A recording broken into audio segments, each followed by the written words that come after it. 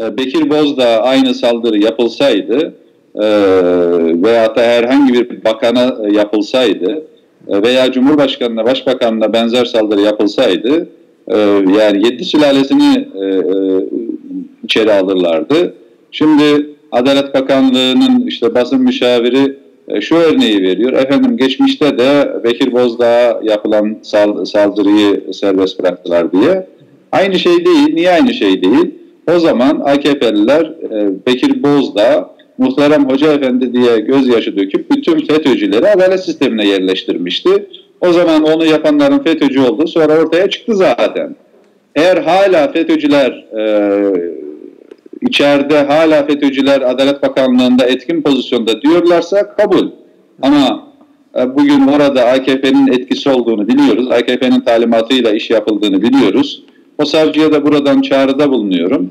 E, o savcı benim nazarımda Cumhuriyet Savcısı değil, Cumhuriyet Savcısı ünvanını kullanmasın, AKP Savcısı ünvanını kullansın.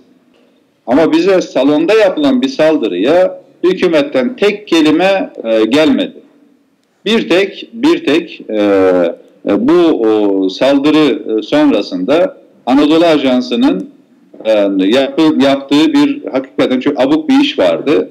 E, hem bu saldırıyı e, protesto, masum protesto gibi gösterdi Anadolu Ajansı hem de utanmadan bir de üstüne kalktılar bir tweet attılar. Mention attı. Ya düşün devletin haber ajansı AKP'nin e, trolü gibi çalışıyor. Ya devletin haber ajansı ya benim senin hepimizin vergileriyle e, maaşını alan e, haber ajansı troll gibi. Bana mention atmış Anadolu Ajansı resmi Twitter hesabından. E, şimdi sinirlisiniz sakinleşince okuyun anlamazsanız dönün bir daha okuyun diye. Şaka gibi. Yani ben de bunun üzerine e, Numan Bey aradım. E, dedim ki ya bu, bu nasıl bir şeydir Sayın e, e, Başbakan Yardımcısı? Sağ olsun o, o müdahil oldu ve bu devlet ciddiyetini çalışanlarına hatırlattı.